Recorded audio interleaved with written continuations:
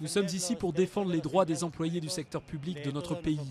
Mais nous défendons aussi les droits de nos collègues européens. Nous ne pouvons pas payer cette crise puisque nous ne l'avons pas créée. Nous sommes les victimes des coupes budgétaires européennes. La situation est alarmante car on a bien l'impression que désormais c'est le tour de l'Espagne. C'est à notre tour de voir la dette s'acharner sur nous, comme s'il fallait faire tomber l'Espagne. Est-ce que j'ai peur de l'avenir? Totalement, totalement.